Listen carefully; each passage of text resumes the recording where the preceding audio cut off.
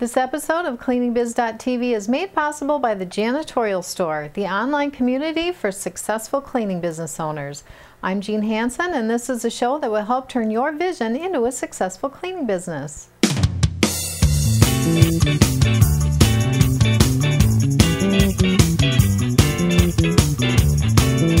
As a cleaning business owner, I'm sure you can relate to the fact that there are days it's tough to have a positive attitude.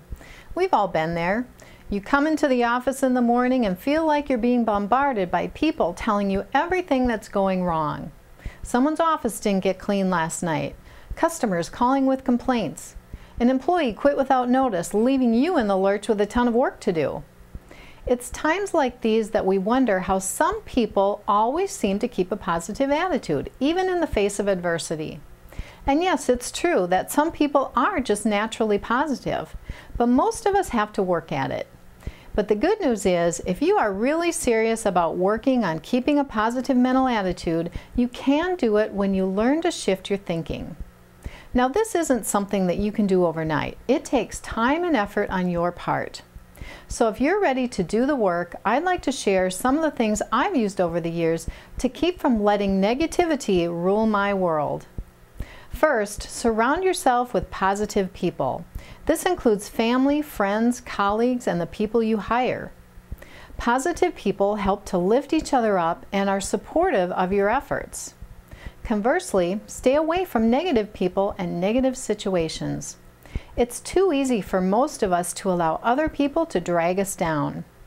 And if, and if the negativity during news broadcasts bothers you, turn off the TV. Another tip is to listen to positive or inspirational CDs when traveling between jobs or during downtime at home.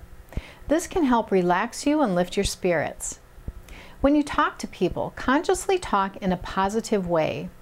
And when people ask a question, say, Yes, I can, instead of No, that's not possible. Believe that you can achieve your goals.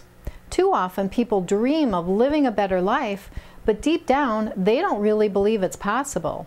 If you don't believe you can achieve your goals, or if you let the negative people around you convince you that you can't, it will never happen.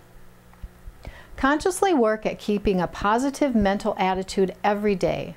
Yes, you will have negative things still happen, but don't dwell on it.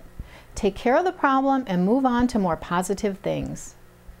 Keep in mind that when you show others your positive attitude, you can change their attitude. It's catchy, just like a negative attitude is catchy. In fact, in a study conducted in Sweden, people had difficulty frowning when they looked at other people who were smiling. And my last tip is to start each day by reading for 10 or 20 minutes from a positive, inspirational book and let it carry you through the day. It just might become habit forming. So what do you do to keep a positive mental attitude? Please post your reply below the video at cleaningbiz.tv.